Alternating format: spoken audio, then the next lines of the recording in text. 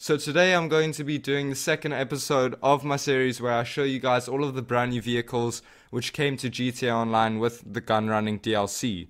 If you missed my first episode where I showed you guys the Pegassi Oppressor, then I'll link that down below in the description and you guys can go check that one out. But today we're doing the APC and this thing is just freaking amazing. I can't get over how good it is. I think it might be as good as the Pegassi Oppressor, maybe even better. It is far more better than the Rhino tank, that's all I'm going to say. But there are two parts to this vehicle. So there's obviously the default part and then the upgraded part. So we're going to be going over the default vehicle first and then we're going to be doing the upgraded vehicle version. So for the default vehicle, all you're going to get is the tank on its own and then of course you're going to get the normal shooting, the grenade shooting sort of thing on top of the tank, which shoots sort of explosive things. I don't know, it shoots like grenades which will instantly explode when they make contact with something. But the problem with this is that it's not so strong, it doesn't do much damage, and it can't shoot that far, and it's of course very slow to turn left and right and you can't really do fast 360s with the um, sort of grenade launching thing. You can't like turn from left to right very fast as you can with the SAM turret, which is the upgraded version. So with the default one again, you do get two turrets on the back. So as I didn't, I'd never mentioned, this car is actually a four-seater vehicle. So you can fit four people in it, and then the first person is going to be able to drive, whilst the second person is going to be able to control the big turret, the SAM turret or the grenade launching thing.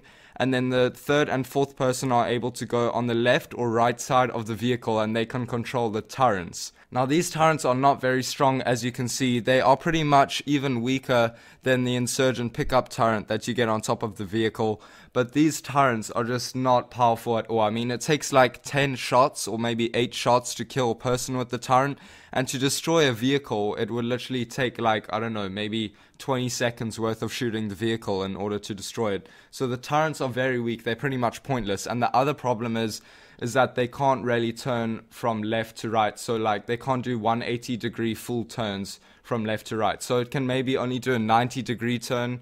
I don't really know if that makes sense to you guys, but as you can see, it can't really turn to the full left and to the full right, um, which makes it not, not that great. But when you upgrade this vehicle, it is a little bit better. You do get the SAM turret, which is probably the best thing about this vehicle when it is upgraded. It is probably what makes this vehicle so amazing and way better than the Rhino tank.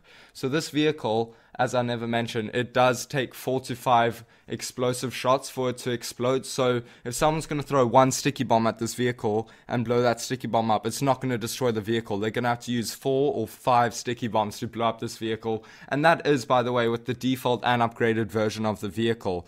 But as let's get back onto track, with the upgraded version of this vehicle, you get the SAM turret, which is this thing on the top, and it is freaking OP. It has 60 missiles which you can shoot, and the things are just OP because it can shoot so fast, and the missiles are really powerful. So you can take down anything. You can take down big groups of cars. You can take down like I don't know a whole bunch of people standing together, whatever if that makes sense. I mean, it's just freaking amazing, and the fire rate is so fast. You can turn in 360s really fast. It's not like really as slow as the grenade launching shooting thing. I don't know how to describe it, but yeah, that thing. But it's way more better. And then that's pretty much all you get with the vehicle when you do research on the vehicle and you upgrade the vehicle.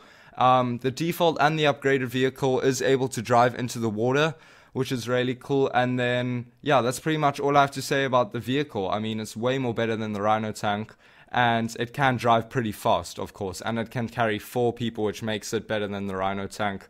And I'm not too sure if you if there's only one person driving this vehicle.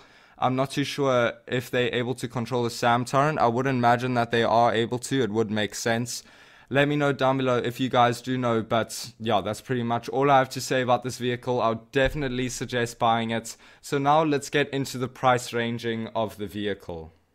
So if you're a noob to this game, you've got a modded account or something like that, and you just want to get your hands onto this vehicle straight away, then you're going to be paying $3,092,250. But if you do go on to do the mission which gives you a discount on the vehicle, which you can only by the way do by getting a mobile operation center, then you're going to be paying $2,325,000. So if you guys are on a budget, I'll definitely suggest going ahead and doing that mission as it will save you quite a lot of money. I mean, you can buy a super sport car with that money, which is kind of cool. I don't know. You might want to save like $700,000. Why not? But yeah, that's pretty much the prices for the vehicle. I'll definitely suggest getting this vehicle. It is so OP. It is way better than the Rhino tank. Um, in any case, it's faster. It can go in the water. It's got a SAM turret, which does have limited ammo, which is kind of a downside to the vehicle. But anybody could agree that this vehicle is way more better than the Rhino tank. It's pretty much an upgraded, better version of it.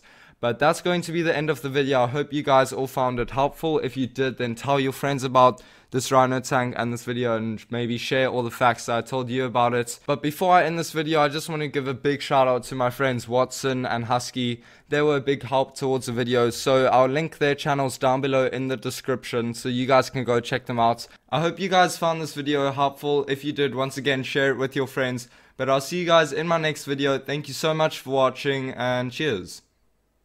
Oh, just let me oh. That clock keeps ticking like a metronome, and my thoughts keep telling me to get me home, but my balls keep telling me to let me oh.